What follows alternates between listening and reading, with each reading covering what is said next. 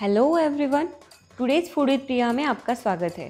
महाराष्ट्र में मिसळ की आपको बहुत सारी वैरायटीज़ मिलेंगी, लेकिन कोल्हापुरी मिसळ का अंदाज़ कुछ हटके है। तो आज हम कोल्हापुरी मिसळ कैसे बनानी है, वही देखेंगे। तो चलिए फिर।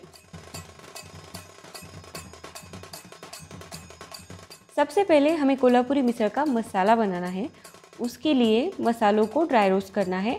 तो शुरुआत करते हैं एक चौथाई कप सूखे नारियल से। उसमें अब हम दो टेबलस्पून कोरिएंडर सीड्स डालते हैं।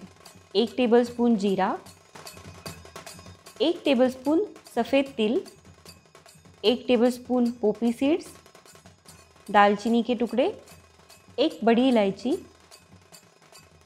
स्टोन फ्लावर दो चक्रफूल छः से सात लौंग और छः से सात काली मिर्च।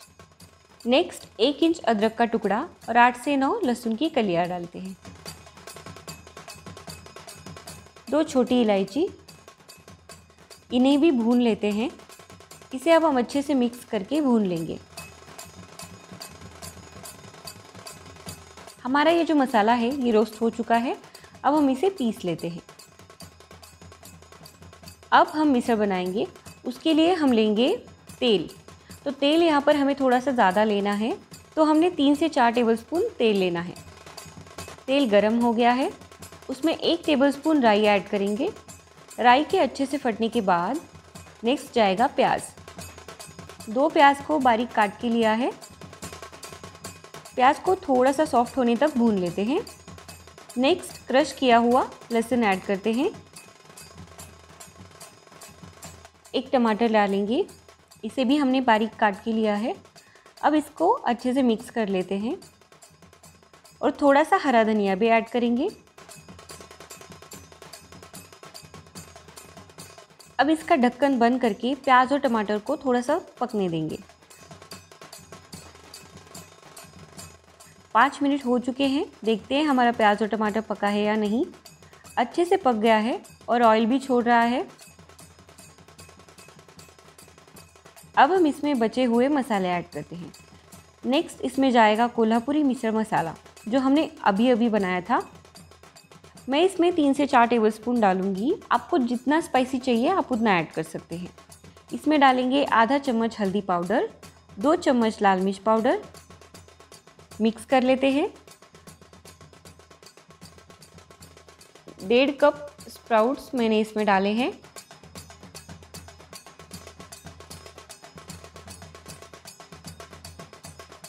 और एक टेबलस्पून गरम मसाला डालते हैं। नमक डालेंगे स्वाद अनुसार और इसे मिक्स कर लेते हैं। इसे मिक्स कर लेंगे अच्छे से। इसमें अब हम तीन कप पानी डालेंगे और फिर से मिक्स कर लेते हैं।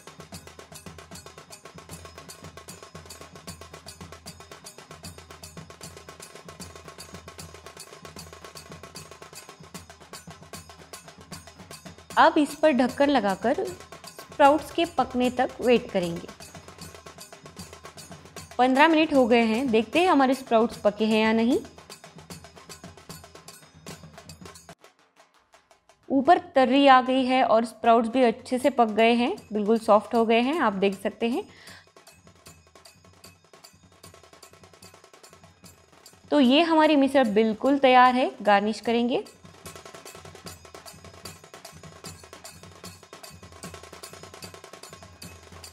अब मैं बोल सकती हूँ की झणझणीत कोल्हापुरी मिसळ तयार आहे.